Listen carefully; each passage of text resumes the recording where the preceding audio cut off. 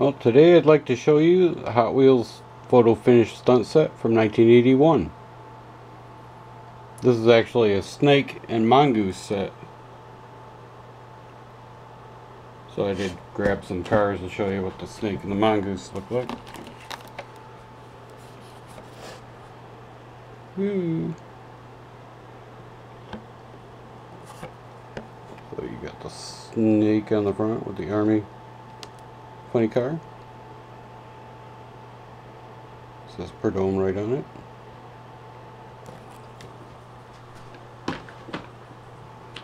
Oh, yeah, I got two of them. Does this one show up good? This one does.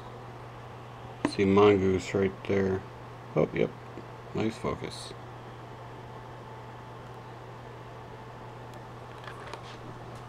Thought maybe this one would show better, but that one showed up pretty good.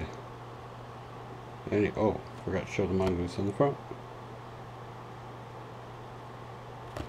Anyway.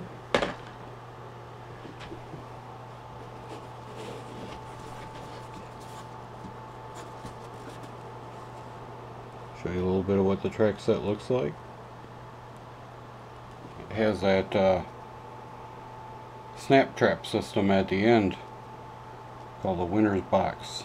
Shows who won. It's supposed to, whichever car hits the end, it's supposed to snap down and trap the cars where they finished. So should be able to see who finished first. That's the back of the box. Also says 1980 on it, with a copyright.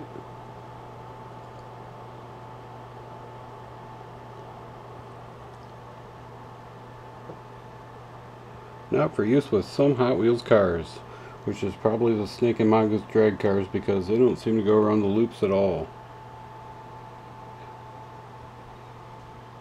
So for this, I'm not even going to try to use those. I just showed you some really nice examples in the package.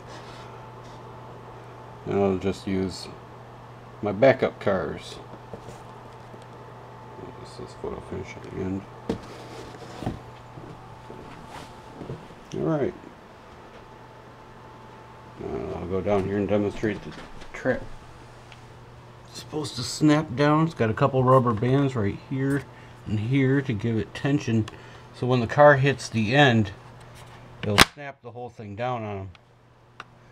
Trap the cars where they are, and this is a nice cushy foam.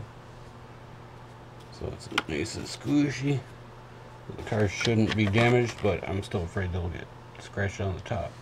A couple ridges here to be able to catch the cars. And I did assemble this out of two sets because one, all the parts weren't working.